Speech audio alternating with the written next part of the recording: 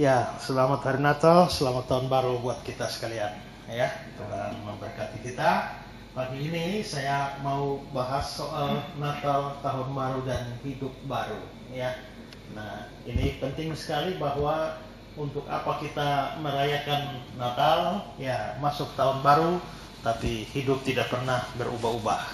Ya, selalu langganan di mana-mana. Ya, kalau Natalan, tahun baru, banyak masih terlalu banyak orang-orang yang memakai itu sebagai kesempatan mabuk-mabukan, ya, lalu bikin kerusuhan, kekacauan dan sebagainya. Dan karena itu maka saya merasa kita penting untuk memahami bahwa merayakan Natal, merayakan tahun baru itu harus punya dampak kepada hidup kita. Ya, merayakan Natal berulang-ulang, tahun baru berulang-ulang, ya, tapi kalau hidupnya tidak pernah berubah, maka ini sesuatu yang sia-sia. Karena itu bagi saya merayakan Natal, merayakan tahun baru itu harus membuat hidup kita berubah.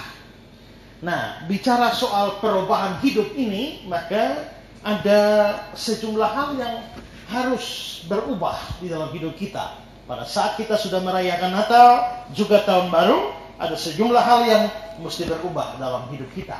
Nah, apa saja yang mesti berubah? Itu yang saya mau sampaikan pada pagi hari ini ya. Next. Nah, pertama adalah Natal dan Tahun Baru itu harus mengubah status lama kita di hadapan Allah menjadi status yang baru. Berarti merayakan Natal, merayakan Tahun Baru harus mengubah status kita di hadapan Allah. Nah, status yang bagaimana? Ingat, kita semua ini adalah orang berdosa. Tidak ada satu manusia pun yang bukan orang berdosa. Karena kita itu lahir sebagai keturunan orang berdosa, Adam dan Hawa, maka otomatis semua kita menjadi orang berdosa. Sama seperti keturunan monyet, itu semuanya monyet. Ya kan? Tidak ada keturunan monyet yang kambing. Ya kan? Namanya keturunan monyet, semuanya monyet. Ya kan? Keturunan ular semuanya ular. Nah, demikian juga keturunan orang berdosa itu semuanya menjadi berdosa. Karena nenek moyang kita Adam dan Hawa itu menjadi orang berdosa, maka selanjutnya mereka hanya bisa melahirkan orang-orang berdosa saja. Maka status kita itu adalah orang berdosa dan sebagai orang berdosa kita itu mau diakui atau tidak diakui kita hidup di dalam permusuhan dengan Allah perseteruan dengan Allah. Coba kita lihat ya Roma 8 ayat 7.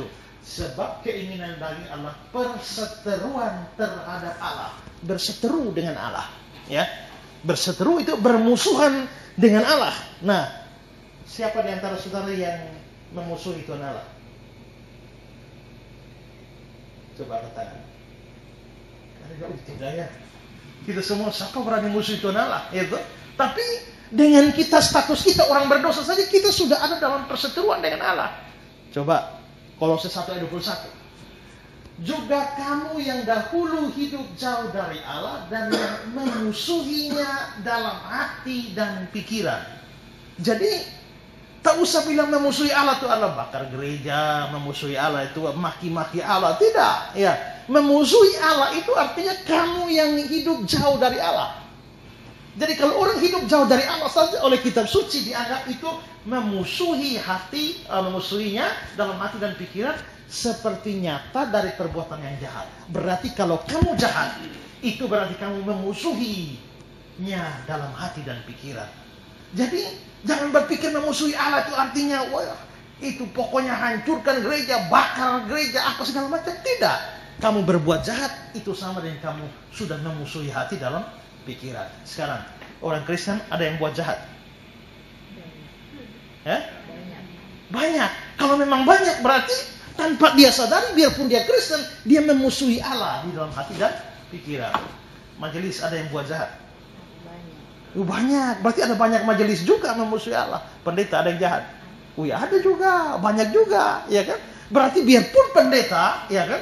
Tapi dia bisa memusuhi Allah di dalam hati dan pikiran. Kalau begitu sekian lama kita coba pikir-pikir berarti saya ini tanpa saya sadari saya sedang memusuhi Tuhan Allah di dalam hati dan pikiran. Nah, sekarang saudara, kalau begitu semua kita orang berdosa itu adalah bukan cuma musuh Allah tapi memusuhi Tuhan Allah. Nah, saudara-saudara, kalau kita bermusuhan misalnya ya saya bermusuhan dengan Jokowi, oh itu berarti susah ya kan? Nah, kalau saya bermusuhan dengan seorang pembesar di dunia ini saja, saya repot. Apalagi saya hidup bermusuhan dengan Tuhan Allah. Kalau saya bermusuhan dengan Tuhan Allah, bermusuhan dengan manusia, saya bisa minta perlindungan Tuhan Allah. Tapi bagaimana kalau saya hidupnya bermusuhannya dengan Tuhan Allah? Maka tentu kita tidak luput dari coba ya satu raja-raja delapan.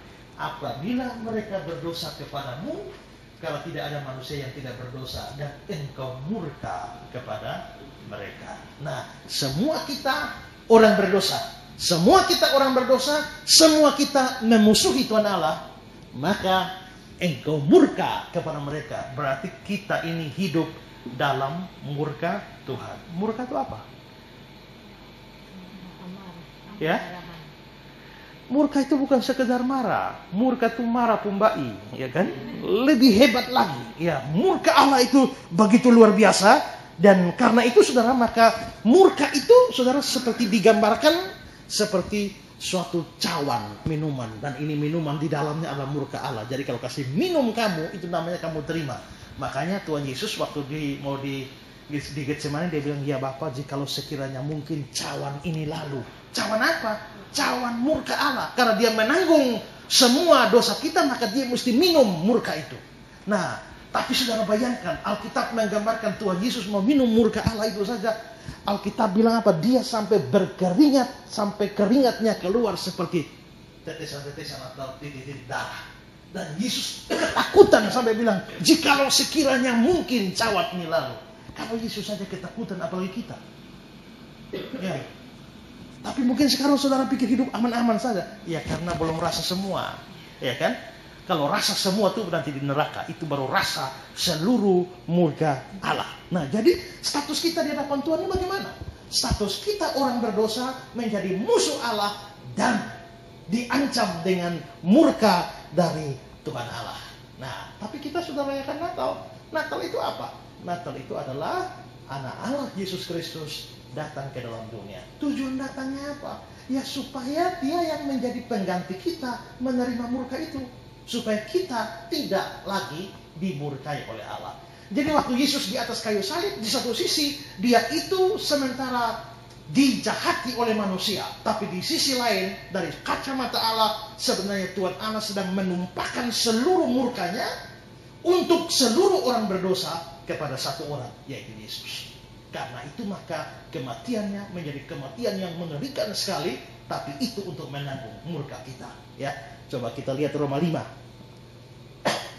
akan tetapi Allah menunjukkan kasihnya kepada kita oleh karena Kristus telah mati untuk kita ketika kita masih berdosa. Lebih-lebih karena kita sekarang telah dibenarkan oleh darahnya, kita pasti akan diselamatkan dari murka Allah. Terus, sebab jikalau kita ketika masih seteru diperdamaikan dengan Allah oleh kematian anaknya dan seterusnya. Berarti kematian Yesus itu itu adalah untuk ya menyelamatkan kita dari murka Allah. Nah, nah, untuk menyelamatkan kita dari murka Allah. Jikalau kita syaratnya adalah kita mau percaya. Tapi kalau tidak percaya, apa yang terjadi? Yohanes 3 36. Barang siapa percaya kepada anak Yesus, dia beroleh hidup yang kekal. Barang siapa tidak taat kepada anak, kepada Yesus, dia tidak akan melihat hidup, melainkan murka Allah tetap ada di atasnya. Perhatikan kata-kata ini. Murka Allah tetap ada di atasnya. Bukan orang tidak percaya Tuhan kasih murka. Baru kasih murka. Tidak. Kalau orang percaya murka dicabut. Kalau dia tidak percaya murka bukan murka baru diberikan. Murka sudah ada. Sudah ada sebelumnya. Sejak kapan murka ada di atas kita? Ya, sejak kita berstatus orang berdosa di dalam rahim ibu, murka Allah sudah ada. Begitu percaya, murkanya dicabut. Tapi kalau tidak percaya, murkanya tetap ada, ya. Murkanya tetap ada. Nah, jadi itulah status kita di hadapan Tuhan. Nah, tapi waktu kita merayakan Natal, Allah datang menjadi manusia, mati menyelamatkan kita. Kalau kita mau percaya, status kita diubah. Ya, Yohanes 1 ayat 12. Tetapi semua orang yang menerimanya, menerima Yesus, ya, diberinya kuasa untuk menjadi anak-anak Allah, yaitu mereka yang percaya. Jadi waktu kita percaya, status kita dari musuh Allah diubah menjadi anak Allah. Nah sekarang enak jadi anak Allah atau musuh Allah? Nah tapi banyak orang Kristen ternyata hidupnya tanpa sadar lebih memilih jadi musuh Allah, memusuhi Allah ketimbang menjadi anak Allah. Maka dengan percaya kepada Kristus sebenarnya status kita dari musuh Allah berubah menjadi anak Allah. Maka merayakan Natal, merayakan tahun baru itu harus mengubah status lama kita jadi status baru. Kalau kita misalnya sekian lama belum sungguh-sungguh percaya pada Kristus dan kita adalah musuh Allah, merayakan Natal, merayakan tahun baru harus mengubah itu, yaitu dari musuh Allah menjadi anak-anak Allah. Ya. Nah, karena itu maka sekarang pikirkan, saudara sudah berapa banyak merayakan Natal? Sudah berapa banyak merayakan tahun baru? Ya. Ada banyak yang saya bilang ya, ada banyak orang merayakan Natal tapi dengan mabuk-mabukan. Kalau begitu sambil merayakan Natal sambil memusuhi Allah. Ya kan? Sambil merayakan Natal sambil memusuhi Tuhan Allah. Sambil terus merayakan Natal terus menjadi musuh Allah. Nah ini harus berubah. Statusnya harus berubah dengan syarat semua orang yang menerimanya. Berarti menerima Kristus mengubah status kita di hadapan Allah. Semua orang yang tidak percaya Yesus statusnya tetap musuh Allah. Biarpun dia berteriak-berteriak Allah sepanjang hari, tapi statusnya tetap musuh Allah. Karena itu, sekarang sudah masuk tahun baru, apakah ada yang masih jadi musuh Allah? Kalau ada musuh Allah di ruangan ini hari ini, nah sebelum saudara kerja sebentar, berdoa, ya percaya dan terima Yesus supaya saudara berubah status menjadi anak Allah. Itu pertama. Ya. Kedua, Natal dan Tahun Baru harus mengubah cara hidup kita yang lama menjadi cara hidup yang baru. Pertama status. Statusnya mesti baru. Kedua adalah cara hidupnya mesti baru. Waktu kita percaya Yesus, Alkitab bilang kita diberikan roh kudus. Efesus 1 ayat 13. Di dalam dia, kamu juga ketika kamu percaya diberikan dengan roh kudus. Waktu kamu percaya diberikan Roh Kudus kepada kamu. Berarti tidak ada orang yang sudah percaya tapi ada Roh Kudus. Tidak. Atau tidak ada orang yang belum percaya tapi sudah punya Roh Kudus. Tidak. Ini ayat mengatakan kamu dibentrakan dengan Roh Kudus kapan? Ketika kamu percaya. Jadi kalau saudara mungkin Kristen sekian lama tahun sampai tua tapi belum pernah sungguh-sungguh percaya Yesus, Roh Kudus sebenarnya belum ada dalam diri saudara. Karena roh kudus baru diberikan ketika kamu percaya. Tapi kalau kamu sudah percaya, kamu pasti ada roh kudus. Tidak ada orang, saya sudah percaya pak, tapi belum dapat roh kudus. Lah belum dapat roh kudus bagaimana? Saya belum bisa bahasa rola, saya belum bisa. Oh tidak. Ya, waktu kamu percaya, otomatis kamu sudah diberikan roh kudus. Nah, roh kudus ini adalah roh yang kudus. Nah, kalau roh kudus ada di dalam diri kita, tidak mungkin roh kudus itu masuk di dalam diri kita lalu dia diam-diam. Tidak. Kalau roh kudus masuk dalam diri kita, dia bekerja. Kalau dia bekerja, lalu dia menghasilkan buah. Dan buah itulah yang kita hafal sebagai buah roh ialah kasih, sukacita, damai sejahtera, kesabaran, seterusnya. Berarti waktu saya percaya Yesus, Roh Kudus masuk ke dalam hati saya, hidup saya pasti akan melahirkan perbuatan baik kasih sayang mulai keluar, sukacita mulai keluar, kesabaran mulai keluar, ketekunan mulai keluar, yang baik-baik itu mulai keluar. Walaupun tidak sempurna nanti sampai di surga sempurna, tapi ada perubahan hidup dari yang buruk kepada yang baik, ya. Dan ini nyata. Dari pengalaman-pengalaman orang-orang yang bertemu dan percaya pada Yesus, hidupnya pasti berubah. Saulus, ya orang jahat yang bunuh banyak orang Kristen, penjarakan banyak orang Kristen, mau membinasakan iman Kristen. Tapi ketika Tuhan Yesus tangkap dia sampai dia percaya Yesus, hidupnya berubah. Dia yang dulu membinasakan iman Kristen, sekarang justru yang membangun iman Kristen. Dia yang dulunya memenjarakan orang Kristen, sekarang justru dipenjarakan karena kekristenannya. Dulu dia yang menghancurkan gereja, sekarang justru dia membangun gereja. Berapa banyak gereja yang dibangun oleh Paulus, coba. Bahkan kitab suci perjanjian baru didominasi oleh Paulus, bukan Petrus, bukan 12 rasul. Ya. Matius, Rasul Matius cuma tulis satu, yaitu Injil Matius. Markus bukan rasul. Markus itu anak buahnya Petrus. Lukas bukan rasul, Lukas itu anak buahnya Paulus. Ya, Yohanes rasul, berarti ada dua. Kisah rasul itu ditulis Lukas. Mulai Roma, 1 Korintus, 2 Korintus, ya terus ke belakang itu Paulus. Nah, baru ada nanti surat 1 Yohanes, ya Yohanes lagi yang tulis rasul. Surat Wahyu itu Yohanes yang tulis. Yakobus, surat Yakobus itu bukan Yakobus rasul yang tulis, itu Yakobus saudara tiri Yesus anak dari Yusuf dan Maria setelah Yesus lahir. Itu Yakobus. Surat Yudas itu bukan Yudas Iskariot. Yudas Iskariot sudah mati. Bergantung diri. Surat Yudas itu adalah Yudas saudara tiri Yesus. Berarti dari 12 rasul yang tulis kitab suci perjanjian baru cuma berapa orang? Matius dan Yohanes. Yang lain tidak ada. Tapi coba lihat Paulus. Ya, Roma, Korintus, Galatia, Efesus, Filipi, Kolose, Tesalonika, ya Ibrani sampai hari tidak tahu ada orang tidak tahu siapa yang tulis. Ya, ada dugaan itu Paulus tapi tidak pasti. Sampai Origenes bilang hanya Tuhan Yesus yang tahu siapa yang tulis surat Ibrani kita. Nah, tapi itu berarti bahwa Paulus mengalami perubahan hidup yang luar biasa setelah dia jumpa Tuhan Yesus. Sakeus coba. Ya, dia kepala pemungut cukai. Pemungut cukai itu orang koruptor pada waktu itu. Ya, itu panjang kalau bisa cerita sejarahnya. Tapi ketika dia bertemu Yesus, dia bilang, Tuhan, setengah dari hartaku kuberikan pada orang miskin. Kalau sekiranya aku pernah peras orang, ku ganti empat kali lipat. Wah, berarti Sakeus setelah ketemu Yesus, hidupnya berubah. Ya, maka ada lagu, Perubahan ajaib tadilah padaku, sejak Yesus terima. Sejak saya terima Yesus, hidup saya berubah. Maksudnya berubah menjadi lebih baik. Ya, karena itu maka ingat bahwa pada saat kita merayakan Natal harus ada perubahan. Jangan kita berubah hanya Natal saja. Ya, pas bulan Desember kita berubah.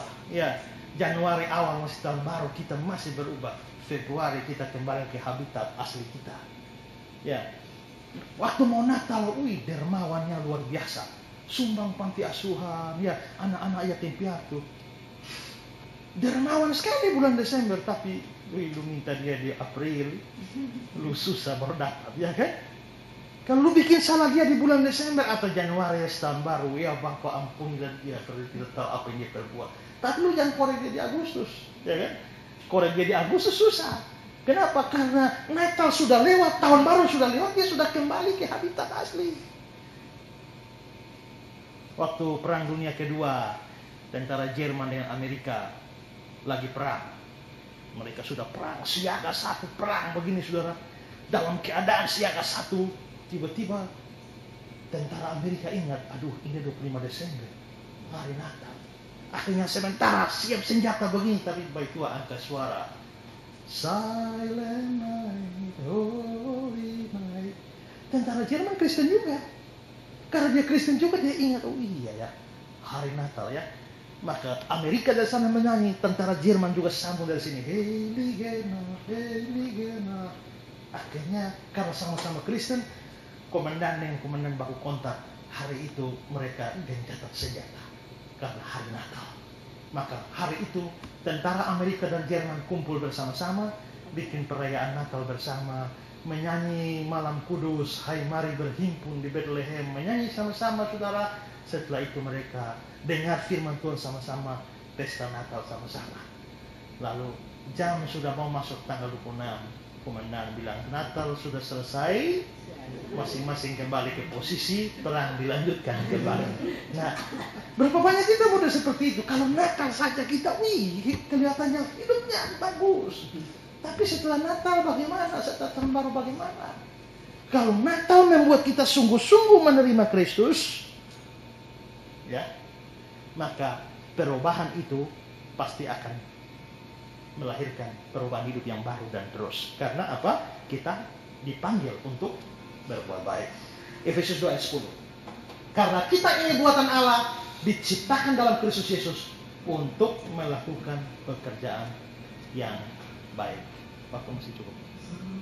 Ya. Sekarang yang ketiga. Jadi pertama apa mesti baru?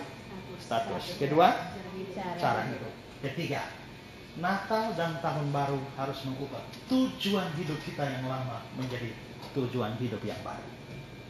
Jadi bukan cuma cara hidup, tapi tujuan hidup itu mesti baru.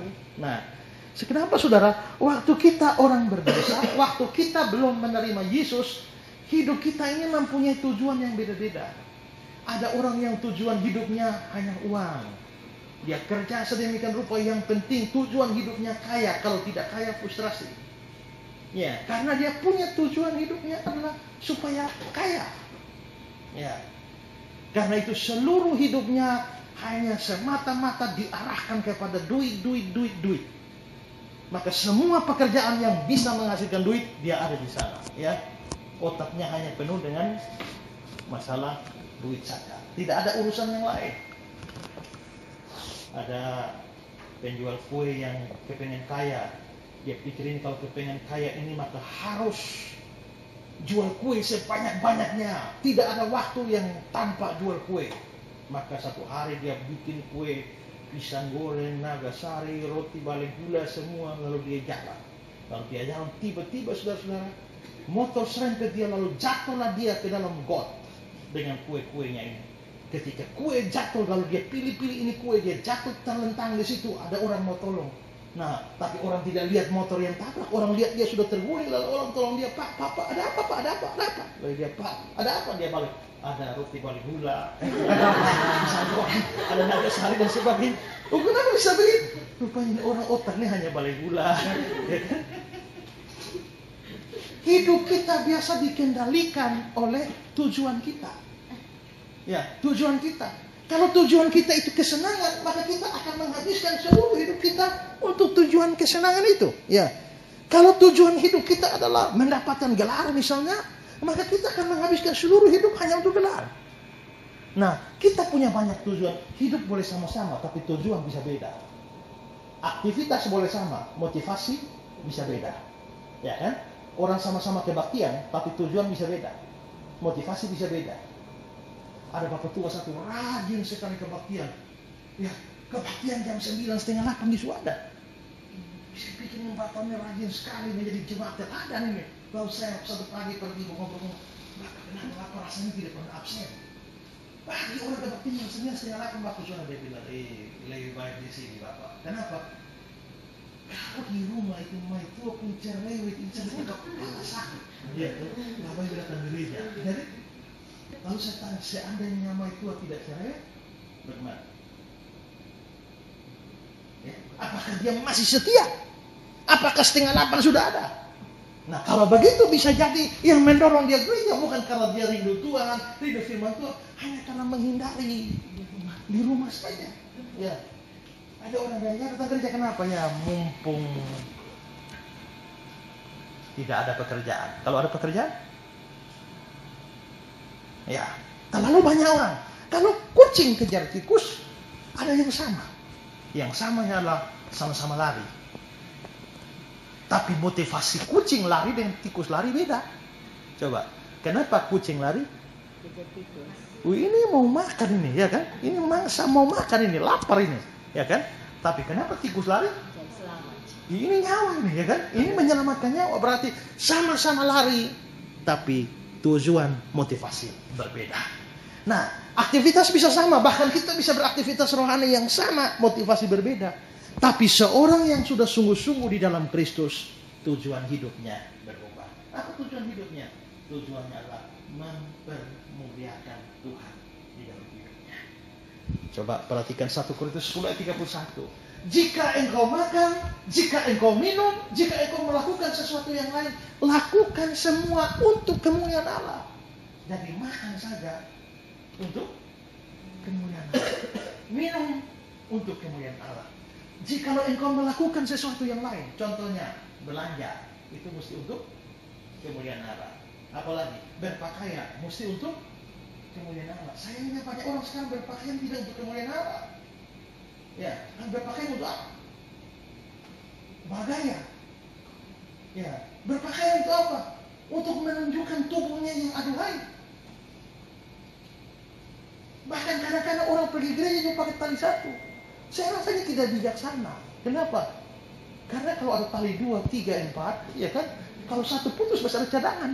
Tapi kalau talinya cuma satu, bayangkan saudara, putus tidak ada cadangan itu ya kan?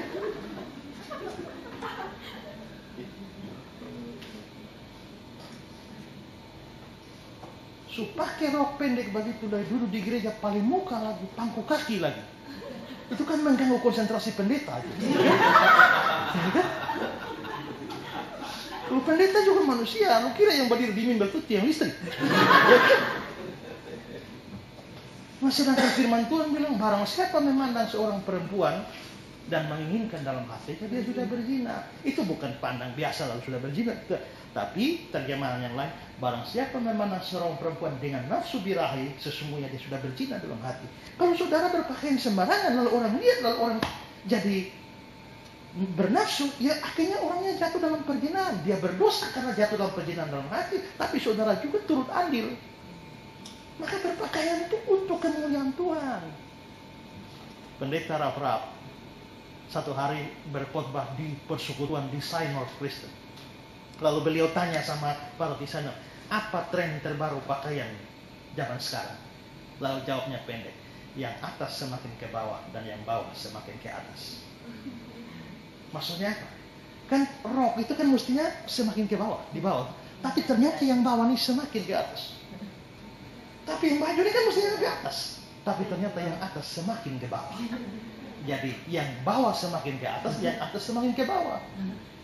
Saya lihat lagi kemarin lagi.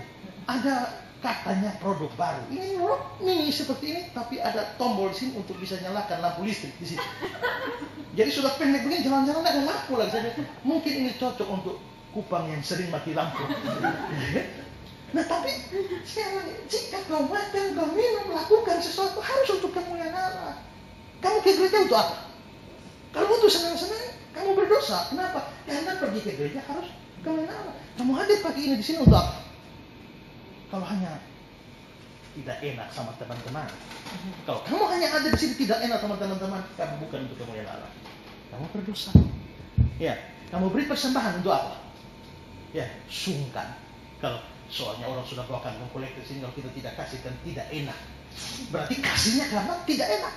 Kalau bukan untuk kemuliaan Allah, kita menjadi berdosa. Berarti tujuan hidup seorang Kristen setelah dia sungguh-sungguh menerima Kristus itu harus untuk kemuliaan Allah. Lakukan apa saja untuk kemuliaan Allah. Lakukan apa saja untuk kemuliaan Allah. Ya. Termasuk saya misalnya, saya berkhotbah. Saya berkhotbah untuk apa? Sekarang jangan pikir semua orang berkhotbah untuk kemuliaan Allah. Ada orang berkhotbah hanya karena memang kok harus begitu nah karena mana lagi?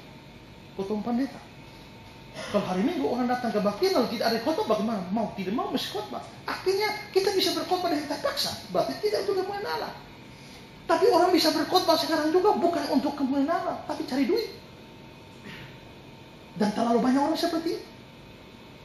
Dulu waktu saya masih di gereja Agape sama Lili ini, ulang tahun gereja ke-35 saya jadi sekretaris panitia. Lalu kita mau ngundang ini ya satu penyanyi lah ya bintang juga tapi bintangnya sudah redup ya. Lalu waktu dikontak pak kami mau undang dari gereja agape kupang mau undang bapak untukmu. Uh puji Tuhan. Saya juga baru mengalami mujizat Tuhan. Dan saya akan bersaksi untuk orang-orang di timur. Bagaimana kuasa Tuhan? Puji Tuhan. Kurang berapa saat kemudian mau acara dia telepon. Teleponnya bilang begini pak bisakah kita saya datang dengan istri saya? Saya pikir ya bisa pak, tapi kan yang kita undang ini bapak. Kalau ibu mau ikut ya silakan saja, tapi tiket kami tidak tanggung. Kita cuma tanggung bapak saja. Kalau makan minum penginapan ya itu tanggung jawab panitia di sini. Lalu dia bilang, oh begitu ya, iya pak. Nanti saya kabari ya, ya. Lalu sudah beberapa saat kemudian dia kabari. Dia bilang, Pak, baiklah saya akan datangi istri saya, tiket saya tanggung, penginapan saya tanggung, makan minum saya tanggung, panitia tidak usah apa-apa. Tapi saya minta satu kali menyanyi dua juta. Terus itu ada acara tiga malam, KKR tiga malam, ya. Saya minta KKR tiga malam itu kolekte itu jadi bagian saya. Ini saya tidak usah rapat panitia saya bilang, Pak, Pak tidak usah datang ya. Kenapa? Yang menyanyi di Kupang suara bagus juga banyak. Pak tidak usah Pak. Saya umur-umur baru heran ketemu orang yang minta kolekte itu jadi bagian dia. Lalu terus ini melayani untuk apa? Ya, itu cari duit. Tanpa sadar, termasuk orang-orang aktivis-aktivis rohani. Mereka beritakan firman pun, makanya firman Tuhan bilang mereka bukan melayani Tuhan, tapi melayani perut mereka sendiri. Ya, maka waktu kita percaya Yesus, tujuan hidupnya jadi baru, yaitu lakukan semua untuk kemuliaan Allah. Dapat duit atau tidak dapat duit, yang penting kemuliaan Allah jalan. Kita semua butuh duit, tapi jangan duit menjadi tujuan hidup kita. Ya, karena itu maka waktu kita sudah merayakan Natal, tahun baru, tujuan hidup mesti berubah. Saudara datang kantor untuk apa? Kerja cari nafkah. Ya, tapi ada tujuan lebih mulia untuk kemuliaan Tuhan. Kalau urusan makan, minum hari-hari yang kecil saja untuk kemuliaan Tuhan, apalagi urusan yang besar-besar. Untuk kemuliaan, harus untuk kemuliaan Tuhan. Ada ikut grup menyanyi paduan suara, vokal grup di gereja. Nah, ayo untuk apa? Ya, kalau untuk show, supaya orang lihat tampil, nah itu menjadi salah. Semua harus untuk kemuliaan Tuhan. Matius 5:16. Demikian hendaklah terangmu bercahaya di depan orang supaya mereka melihat perbuatanmu yang baik dan memuliakan Bapamu di surga. Berarti kita bisa memuliakan Bapa di surga dengan salah satu cara adalah hidup secara baik. Waktu kita hidup secara baik, orang lihat perbuatan kita, wah, ini anak Tuhan begini, ya. Maka kita sedang mempermuliakan Bapa di surga. Terakhir, ada pendeta pergi KKR di satu tempat. Dia KKR tiga malam khotbah luar biasa. Lalu dia pulang. Setelah tiga KKR tiga hari selesai, pulang kampung naik bis. Waktu naik bis, kondekturnya datang, ambil tiket, ya, lalu uh, tiketnya pada waktu itu tujuh ribu. Lalu dia kasih uang sepuluh ribu. Kalau dia kasih uang sepuluh ribu, mestinya kembali 3000 ternyata konektornya kembali 4000 kelebihan 1000 lalu pendeta ini pikir ah ini kelebihan 1000 mau kembali? 1000 rupiah saja untuk apa? Tak usah. Tapi ada suara yang tidak 1000 itu juga mesti kembalikan tapi suara yang lain mengatakan 1000 rupiah itu tidak akan membangkrutkan perusahaan bis itu sudahlah. Tapi satu suara bilang, ya biarpun tidak membangkrutkan, tapi namanya itu bukan punya kamu. Kembalikan. Dia timbang, timbang, timbang, timbang. Akhirnya dia panggil konekturnya. Sini. Berapa tarif bis? 7 ribu pak. Nah tadi saya kasih uang 10 ribu, mesti kembali 3 ribu. Ternyata kamu kembalikan 4 ribu. Ada kelebihan 1 ribu. Saya kembalikan. Pada waktu dia kembalikan, konektur terima. Iya pak, saya sudah tahu pak. Maksudnya tahu apa? Saya tahu bahwa ada kelebihan 1 ribu. Ya terus Waktu Bapak KKR tiga hari itu saya ikut. Waktu Bapak khotbah tiga hari saya ikut. Saya kepengen tes saja dalam urusan seribu. Bapak taat. Ya. Dia bilang, aduh, seandainya dia tidak kembalikan seribu, tiga hari khotbah itu jadi batal. Iya kan? Kenapa? Karena ini ada orang tes dengan seribu rupiah. Lu khotbah panjang lebar, tapi kalau urusan seribu rupiah saja tidak jujur. Ya kan? Nah, kalau begitu, dengan dia jujur, dia mempermuliakan Tuhan lewat hidupnya. Saudara kerja yang jujur, saudara permuliakan Tuhan. Jangan korupsi, saudara permuliakan Tuhan. Jangan suka rubah-rubah nota. ya, kuitansi dan sebagainya.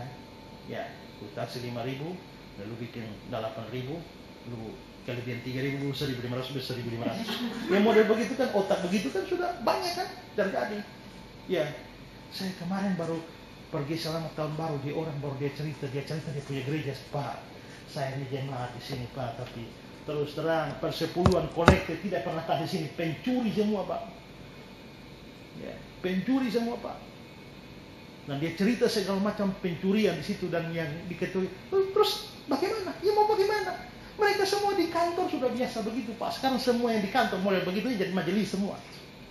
Maka kebiasaan yang di kantor itu yang bawa ke sini. Mereka belanja ini gereja di sini belanja di muka situ saja, ya. Hanya seberang jalan belanja di situ saja pakai uang jalan seratus ribu.